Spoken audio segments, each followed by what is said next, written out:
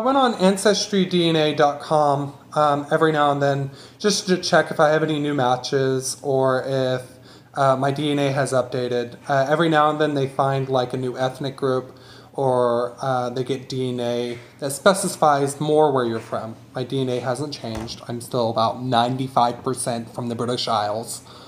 Um, so I was like, whatever. But they had a questionnaire on there, so I did the questionnaire. I was bored.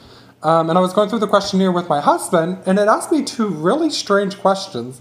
Questions I haven't even thought about, and questions I have never been asked before. And the two questions the first one, which will be on the screen, do you like to eat food that is associated with your ethnicity?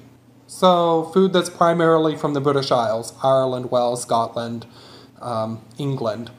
And that's such an odd question because I don't know, as an American, I primarily like food I associate myself with is American food or Americanized food. Um, so I had to look it up online. What the heck is British food or food from the British Isles? And I think the answer is relatively yes, but it's not my favorite. And it's such an odd question because if you're ethnically from a certain place in the world, are you like supposed to like it genetically?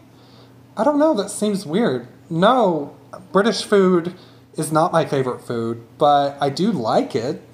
I don't know. And then the next question after that was just as weird. Never been asked this either. Uh, do you like music that is associated with your ethnicity?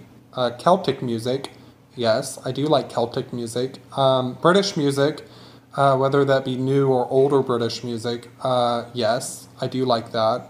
Uh, music from Ireland, I do like that. Um, again, it's not my favorite and it's not my first choice, um, but I do like it.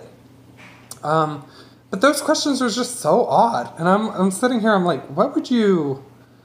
How would you even know that? Like, especially if you're somebody like my husband. Like, if my husband got like 45% Nigerian, um, first of all, my husband's never going to try any food from Africa. Let's just get that right, because he only eats American food unless I force him to eat something else. Um, but how would you like? How would you even know? Especially if you got somewhere crazy or something that you've never even experienced. Like, how do you know if you like the food of your ethnicity? I don't know.